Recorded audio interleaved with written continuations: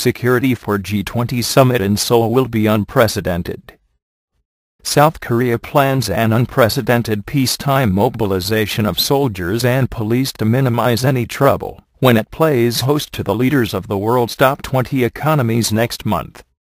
South Korea's military, Coast Guard, and police said they are preparing for all imaginable disruptions during next month's G20 summit in Seoul.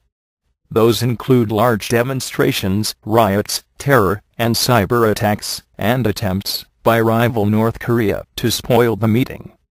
The Commissioner General of the South Korean National Police Agency, Cho Hyun-Oh, noted Monday that some previous G20 and other major international summits have been plagued with violence.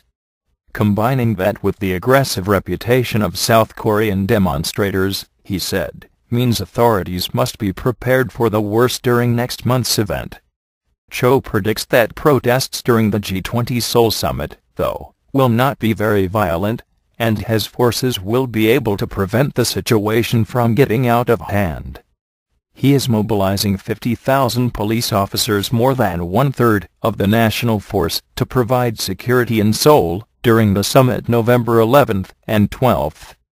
South Korea's Joint Chiefs of Staff say the armed forces will go on level 3 alert which is the highest, starting at the end of this month.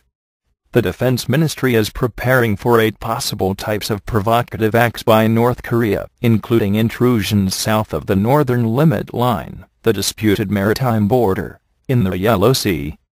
The Coast Guard will defend the Han River in Seoul. And the Air Force will be on the lookout for planes that may try to intrude into the airspace over the summit. Cho said he expects the military will be prepared to use anti-aircraft missiles in the capital should any invasions of their space occur.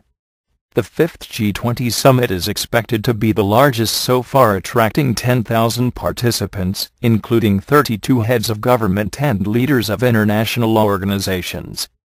The leaders attending include U.S. President Obama, Chinese President Hu Jintao, and the heads of several European countries, in addition, UN Secretary-General Ban Ki-moon and the heads of the International Monetary Fund and World Bank will be there.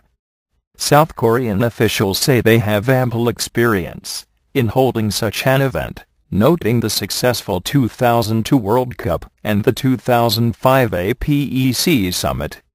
Even so, they say severe traffic congestion can be expected throughout the capital during the G20 summit.